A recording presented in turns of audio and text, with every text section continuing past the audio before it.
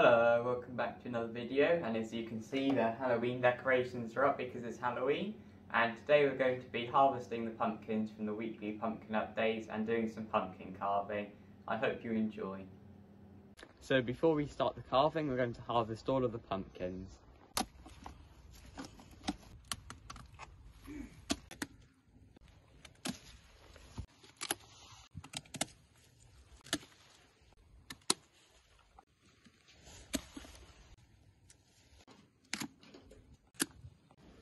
So now we've harvested them all and we've laid them out here and that's what they all look like.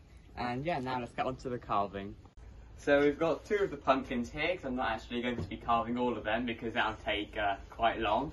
But also, I've got this pumpkin here which we'll be carving because I thought uh, these two will be a bit hard to carve uh, very detailed designs on. Uh, so yeah, I've got a design here that I'll now show up on the screen.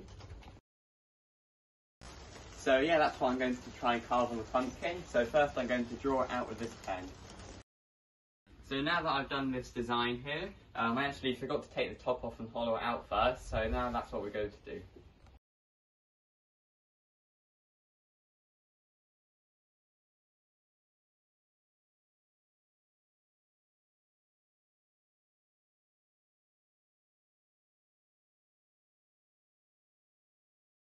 So now that we've uh, taken the top off, we're going to hollow it out.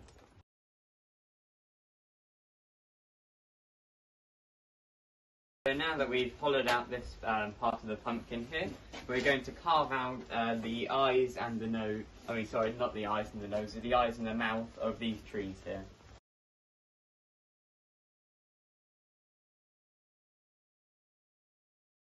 So now that I've carved out the uh, mouth and the eyes for these trees, um, I did use a drill for some of it, that was quite useful.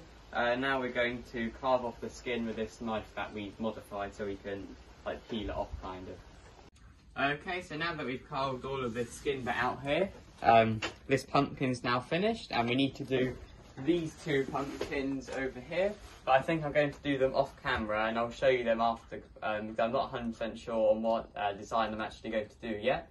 Uh, but yeah, I'll show you all of them when they're done later. Okay, so now that I've um, carved these little pumpkins, I'll show you what I carved on them. Uh, so I've got this one here, which I just did a normal like face on it.